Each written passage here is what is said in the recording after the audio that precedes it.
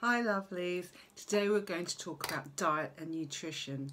Diet is the key to all successful healing and that's why in my clinic I offer something called Mineral Check.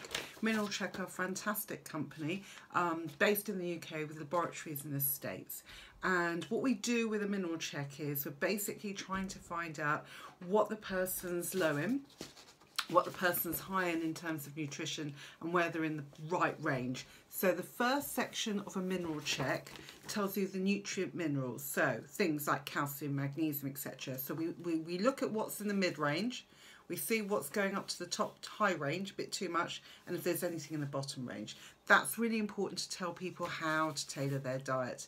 The second thing we also can pick up on with this thing is toxic minerals. So this person has got a little bit of cadmium in them. Sometimes people show a little bit of lead or mercury, etc. Again, that knowing that level of toxicity is so important to helping people to enjoy great health. So that's the first part of a mineral check. Um, the mid part will tell us a little bit about symptoms, explaining symptoms and, and, and, the imbalance that's in the body, currently speaking. So this is very much a tailor-made approach. It's very simple.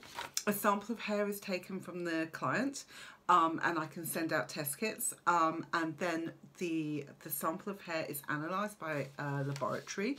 The results come back as this very good detailed document. The final part of it gives us a tailored approach to nutrition.